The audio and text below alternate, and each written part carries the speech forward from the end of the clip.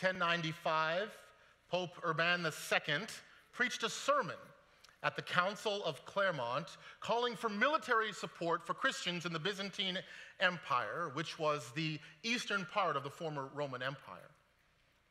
You see, following the death of Muhammad in 632, Muslims had reacted in earnest, pursuing the logical philosophy of Islam, which, according to Professor Thomas Madden, chair of history at St. Louis University, has always been expansion by way of the sword. And so Palestine, Syria, and Egypt were the first to give way to conquest. North Africa and Spain followed, as did Turkey, which had been a Christian territory since the time of Paul. But in the 11th century, the West responded to the plight of the East, and thousands of soldiers, mercenaries, and civilians took up arms and went to fight to reclaim the territories taken by the Muslim insurgents. This was the first crusade of the Middle Ages. The Crusades, as you know, went on to become one of the most controversial and dark periods in the history of Christianity. The name of Christ was abused and blasphemed by many of the actions of those involved. Thousands were forced to convert to Christianity under the threat of death and the opportunity for great lengths of evil abuse of power was taken full advantage of. There is nothing biblical about conquering cities, murdering innocents, or pillaging communities, even in the name of Christ. But this was a complicated time. It was a complicated time both religiously and philosophically and politically. And we might well ask ourselves today, as we look back from the armchair of post Enlightenment postmodern, post Christian civilization at these atrocities and say, What would I have done if I was a Christian in the 11th century and my king asked me to fight to defend my faith? What would I have done if the greatest Christian leader of that time pleaded for the help of all Christians to stop the slaughter and persecution of other Christians oppressed by a brutal regime?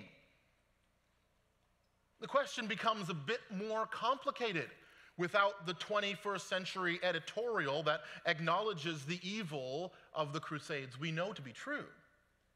Because questions of religion and politics, of faith and nation, are difficult ones, admittedly. Without resorting to caricatures or straw men that we set up only for our own devices, it's difficult to navigate the waters of God and country but we need to do that.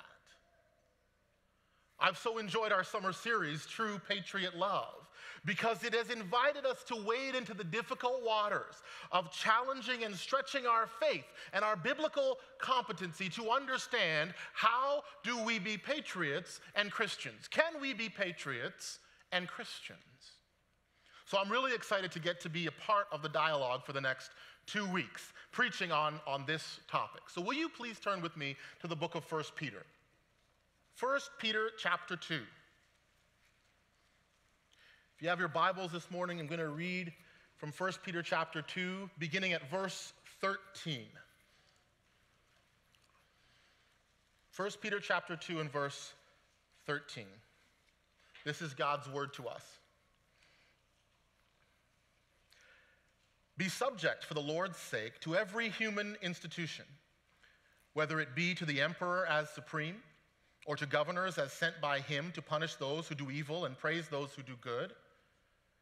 For this is the will of God, that by doing good, you should put to silence the ignorance of foolish people. Live as people who are free, not using your freedom as a cover up for evil, but living as servants of God.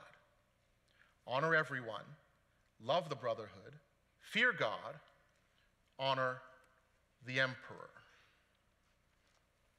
It's the word of the Lord.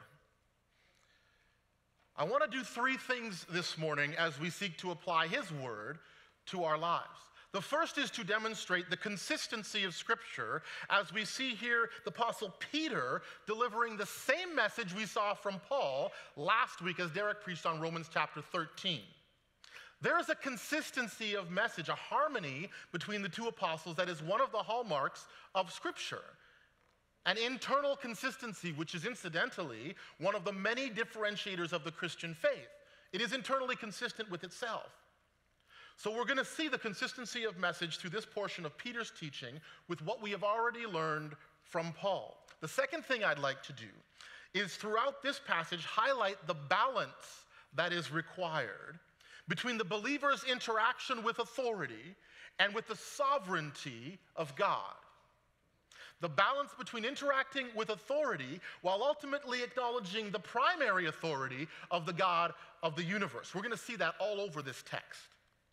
And then, thirdly, I like to illustrate this balance by looking back at the Old Testament story of Daniel. So we're going to go from 1 Peter to Daniel. Pastor Derek and I were just chatting before he left on vacation, and we realized that in this series marking Canada's 150th celebration, we haven't spent much time in the Old Testament. But there's a lot of information about uh, God's people interacting with governments and authorities all over the ancient world. So we thought it'd be a good idea to include some of that content. It can instruct us. So put your finger in Daniel chapter 2. I want to show you how Daniel poignantly models this delicate balance, honoring authority and honoring God. Then we're going to use the book of Daniel to illustrate our theme both this week and next week. So, looking ahead, next week we'll consider some examples of civil disobedience from the first century, paralleled again with Daniel and his friends under the Babylonian captivity in 600 BC. So that's our plan. You ready? You ready? Let's dive right in. The first letter of Peter is not written to Christians who are in a position of power, who were ready to launch a crusade, but rather to believers who were, as a group, still being dominantly oppressed by Rome. In fact, Peter's readers were spread out, known as the dispersia, spread out over the, over the land in many different places, a mixture of Jewish Christians and Gentiles. Peter's writing around the late 60s AD, when incidentally, a few years later in AD 70 would be the fall of Jerusalem, which was a response to the Jewish rebellion, a time when Christians, rather than take up arms, would actually flee Jerusalem so that they were largely uninvolved in that conflict, and the Romans responded to the Jewish rebellion by destroying the temple in Jerusalem. But that's a tangent for history buffs. How were the early Christians taught, though, to interact with the authority that was effectively oppressing them? You remember from last week. Paul's teaching was that Christians should be subject to the governing authorities. That's Romans 13. Christians, as Pastor Derek has said, should be the best citizens. But it isn't just government that we should be subject to, is it? You wouldn't forget about Ephesians 5. This is Paul's word to the Ephesian church because he says there that Christians should be subject to one another. And then he goes on to talk about wives and husbands, children and parents, servants and masters. It seems as if for Paul, the idea of being subject is more than circumstantial, it's a lifestyle. And guess what? Peter backs him up. Our text today in 1 Peter is the parallel of Paul's lifestyle of submission. And Peter actually continues after this portion of scripture to talk about the marriage relationship and to talk about submission in the servant and master relationship. See, there's a harmony of teaching, and the teaching is this for the Christian, our posture is submission, but as we'll see in a moment, our master is the Lord. Our posture is submission, but the posture of being subject to is not just a circumstantial event, it's a way of life for the believer. It's our natural state, mutual submissiveness. Now, there is more to this idea of mutual submission than meets the eye. Peter says in verse 13, be subject to every human institution. That could also be translated to every human being or your Bible might have it translated to every ordinance of man. Now that's pretty serious. We already know that the early Christian church was recognized for their posture of submission to one another. Their love for each other, their uncanny ability to submit and serve one another was what set them apart as a group. But now, submit to every human person and institution. That might have been a bit surprising even for them. It certainly might be a bit surprising for the 21st century Christian, for us. Are we to be subject to every human being? Are we to be subject to every human authority? Are we to be subject to every human institution? Sounds like Peter is saying yes in 1 Peter chapter 2. Sounds like Paul is saying yes in Romans 13. Actually, Jesus himself said yes in Matthew chapter 5. The Beatitudes, if nothing else, are at least a description of the posture of submission to those around us. And Jesus uses the description of the person who wants to be his disciple and be called blessed as the introduction to his most famous sermon, the Sermon on the Mount. Blessed are the poor in spirit. Blessed are the meek. Blessed are the merciful. Blessed are the peacemakers. Blessed are those who are persecuted for righteousness' sake. Hold on a minute. There's a qualifier there, isn't there? Blessed are those who are purchased, persecuted for righteousness' sake. Not just any persecuted people. So, what does Paul say in Ephesians chapter 5? Submit to one another out of reverence for Christ. What about Romans 13? Let every person be subject to the governing authorities, for there is no authority except God. And what about our friend Peter in today's text? Be subject for the Lord's sake to every human institution. You see the magnificent harmony of Scripture? That's what I'm hoping that you will see. That's what I'm hoping that you'll look for when you study the Word. It takes a little bit of effort, but anyone can do this if you have a little devotion and a concordance and maybe a good commentary. This is how you need to study the Bible because we can't base our faith or doctrine on one verse. We need to see the context of that verse, its relatedness to what else the Scripture, the scripture teaches, and the whole counsel of God. That's important because there is a principle of balance here that is repeated in these various places that teach the same principle about our posture of submission. Believers are meant to live a lifestyle that is subject and cooperative with the authorities, and not just the authorities, but everyone around us. But we are living this way, knowing that our only real authority is God Almighty. So we're to learn a posture of submission, not just to God, but to other Christians and even to unbelievers. That's why the posture of submission is used by both Peter and Paul to introduce their teaching about relationships between masters and slaves, or between husbands and wives, or between believers and the government. Because in all three of those situations, it would be highly likely in the first century, and probably likely today, that the authority could be an unbeliever. And so rather than teach that you are released from your obligations to those authorities because Jesus has made you free, the Bible teaches we should be subject to the authorities. Why, says Peter? For the sake of Jesus, for the Lord's sake. What does it mean for the Lord's sake? Well, at least it means for the sake of his office. He is Lord, not Caesar, right? So, ironically, we, we honor Caesar because Jesus is Lord. We don't proclaim Caesar as Lord, we honor him because Jesus is Lord. I think it means for the sake of his glory the glory of God manifest in the divine image. We respect every human being. We are subject to every human ordinance because every human being manifests the image of God created in mankind. Remember 1 Corinthians 11 7 says, Man is the image and glory of God. We had a series on the divine image just a couple months ago. I think it also means for the sake of his teaching. Be subject for the Lord's sake, meaning the sake of his teaching to model his teaching, to be a testimony to him, and share in his suffering. Peter's going to talk a lot about suffering for Christ. You can write down 1 Peter chapter 4, verse 13, because he talks about that, which is related to, to this teaching here in 1 Peter 2.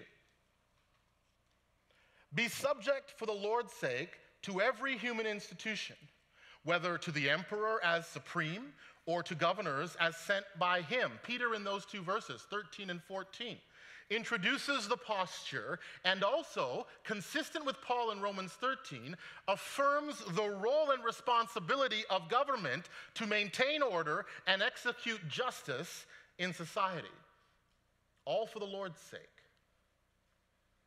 So, our posture as Christians is submission but our only true master is the Lord, and that sets up a balance, not just for the individual believer, not just for you, but also for the authority.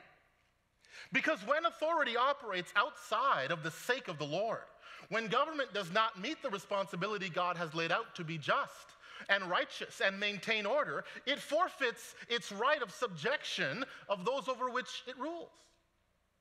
We're going to get to that next week and talk more about that. But our posture is submission, our master is the Lord.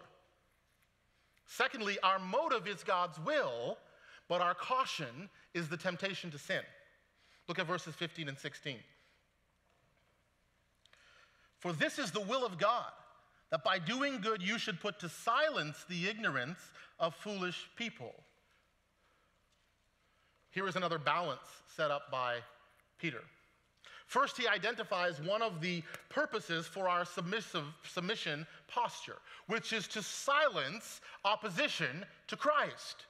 Essentially, it's a testimony of the truth of the gospel and the righteousness of God. Your submission is not because those in authority, especially if they're not believers themselves or Christian institutions, it's not because they're right or righteous, but rather to demonstrate that you, the follower of Christ, are right and righteous in your faith. Did you hear that? God's reason for your posture of submission to authority, God's purpose for you being a good citizen, God's reason behind you being a patriot is not because your ruler is necessarily right or righteous, but rather to demonstrate that you, the follower of Christ, are right and righteous in your faith and that He is Lord.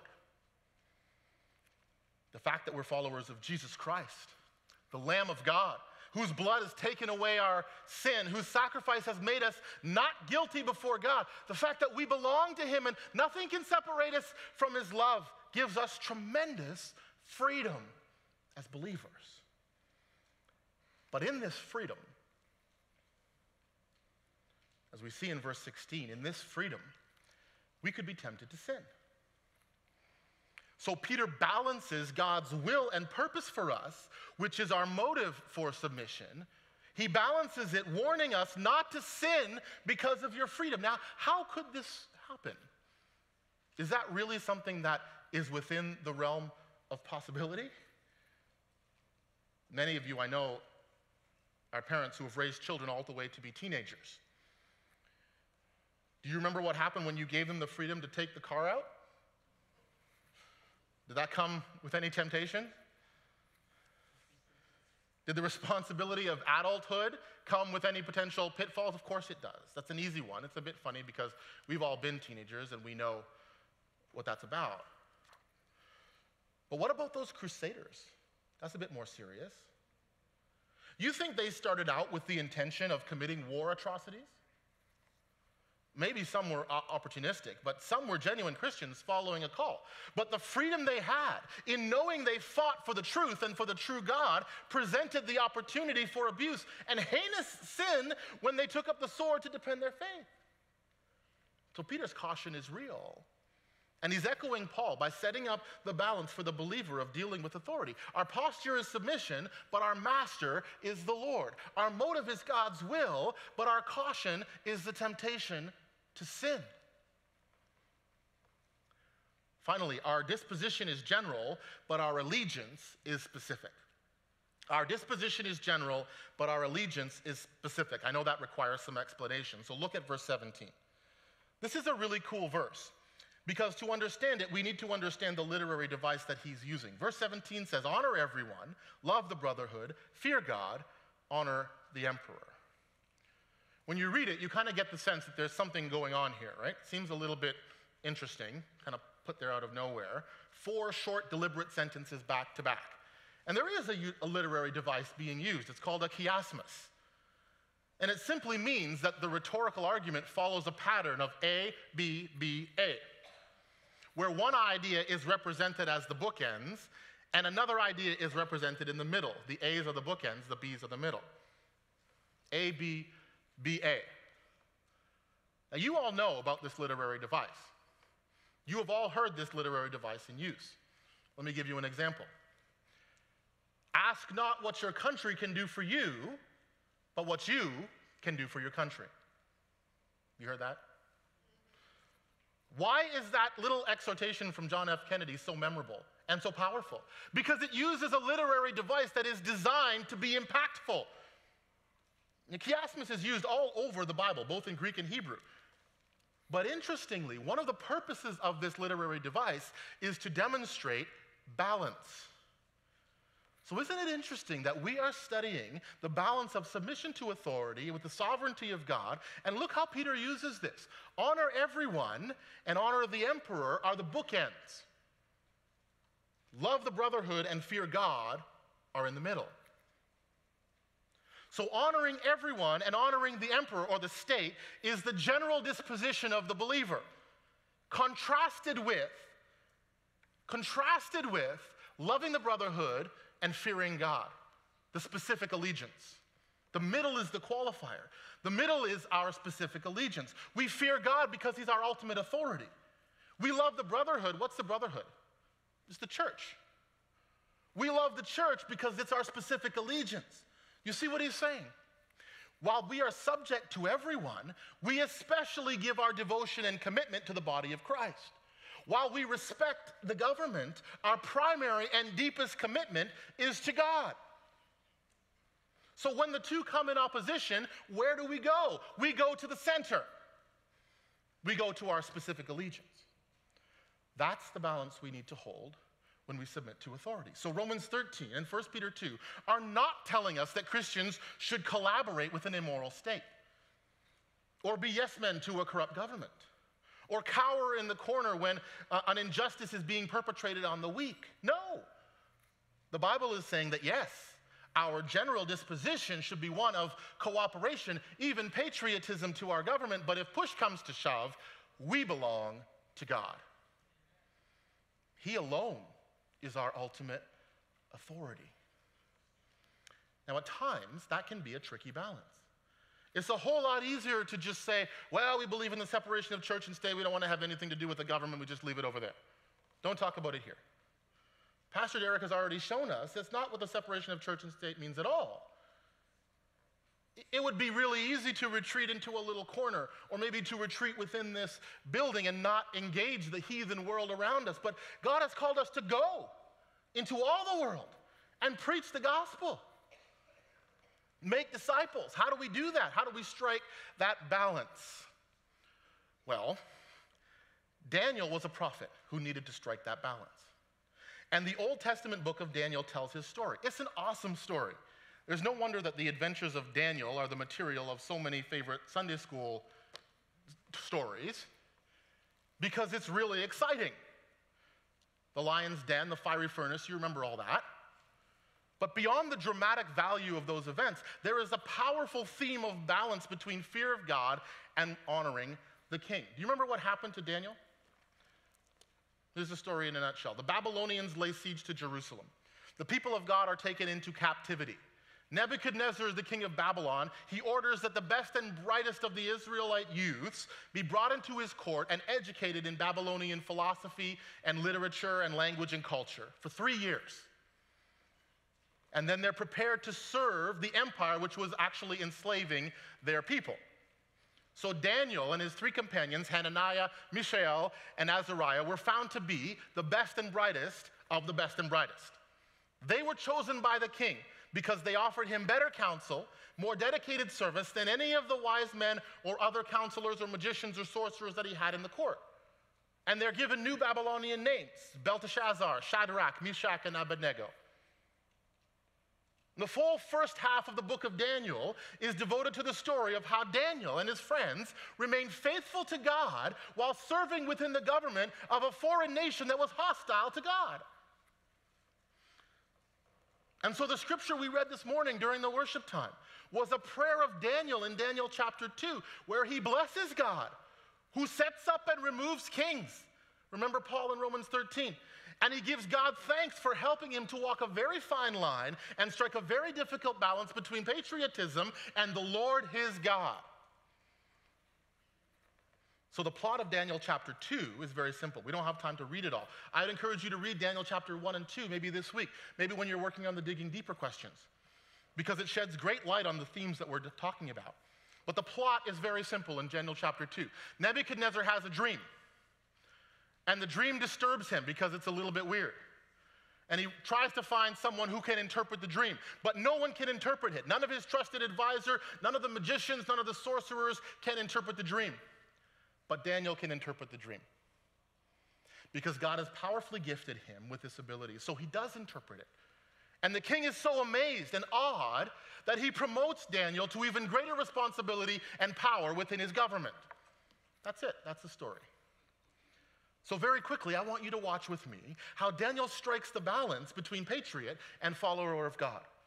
The textual references will be on the screen so you can write them down, but I want to just move quickly through a few points that underscore how does Daniel strike this balance that Peter is teaching us in, second, in 1 Peter chapter 2. Well, first, Daniel uses his gifts to serve his government.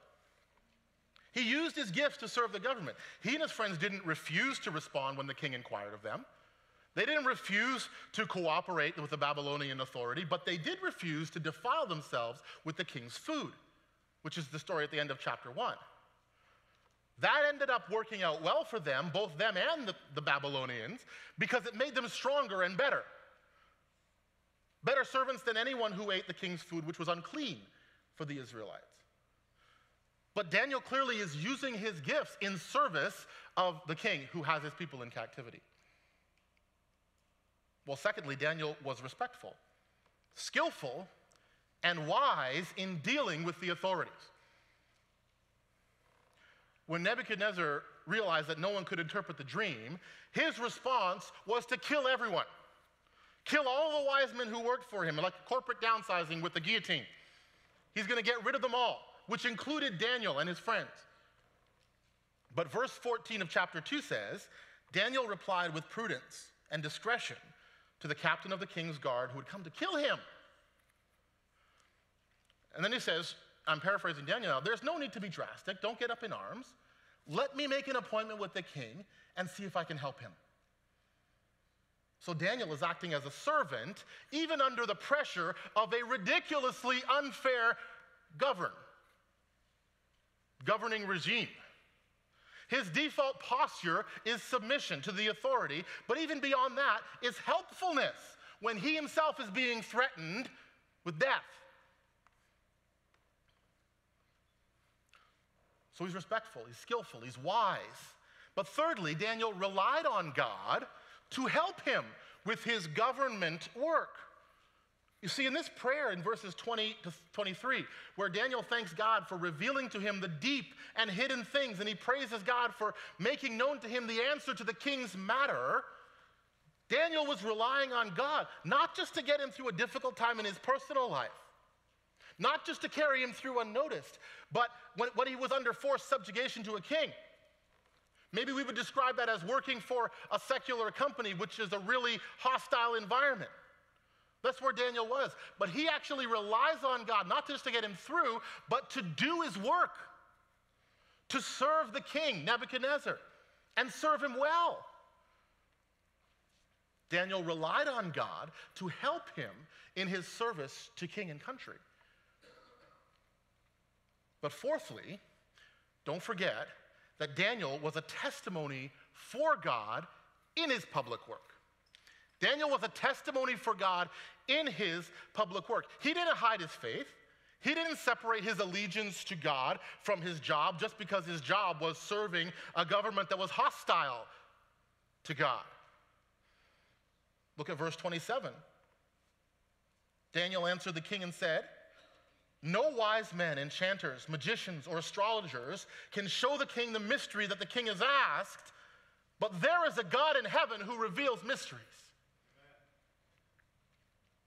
He doesn't just pray to God privately and ask him for help in doing his best, then clam up when he's on site in the hot seat. Daniel is unashamed to admit that it is God himself who is the source of all his skill and wisdom, and he gives glory to God for his vocational success. Daniel relied on God,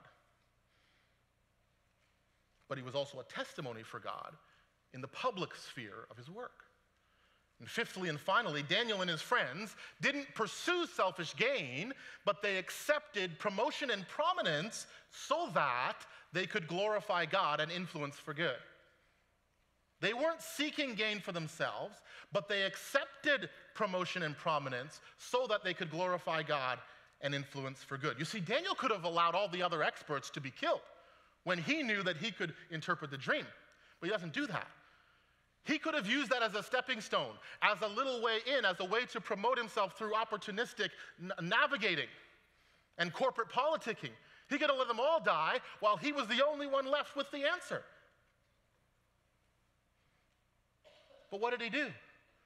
He asked the king not to kill any of them. He said, Don't kill anyone.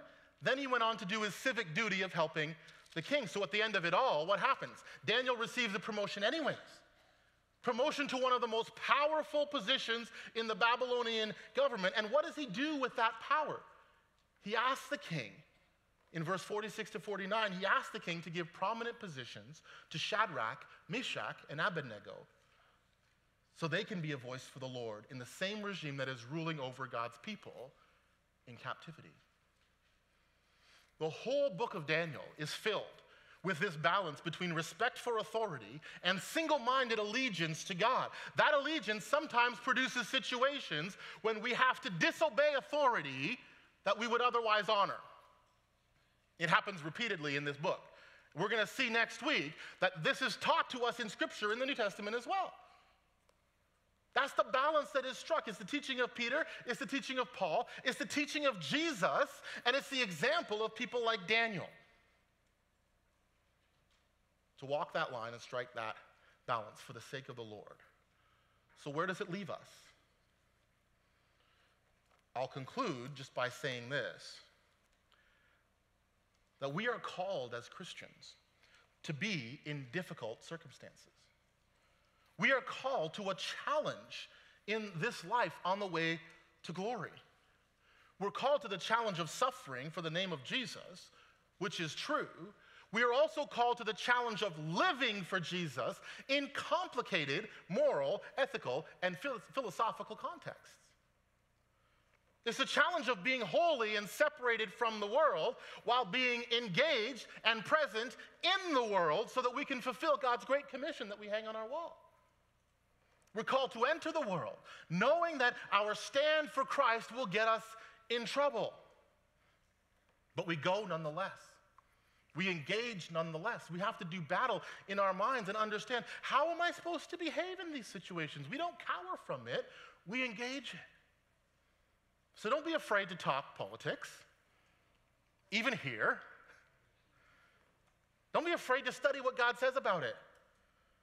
Don't be afraid to tackle difficult questions. Wrestle with God about how you should vote, or whether you should sign a petition, or whether you should enlist in the military, or if participation equals endorsement in such and such circumstances. These are questions the body of Christ needs to engage together. Because living at peace with everyone doesn't mean don't engage with anyone. Living at peace with everyone does not equal don't engage with anyone. If you speak the gospel, if you live the gospel, if you breathe the gospel, it will very often be a sword rather than a feather. So let me speak a sword to you in closing. Have you given to Caesar what is Caesar's this week? Have you respected those in authority over you while honoring your primary allegiance to God? Have you been an example in every institution and situation and circumstance so that God would be highlighted and glorified, even as you act in a posture of submission to those who are over you. Have you given to Caesar what is Caesar's? But more importantly, have you given to God what is God's? What belongs to Him is your whole self. What belongs to Him is your very life, your heart, your trust. Because only He can save you from the worst oppressor, the ultimate enemy, the most heinous regime, and that is the regime of our own sin that enslaves us. He can free us when we become slaves to Him, when He becomes our master. We have life in abundance. And only He can make life living in this world worth living. So let's pray.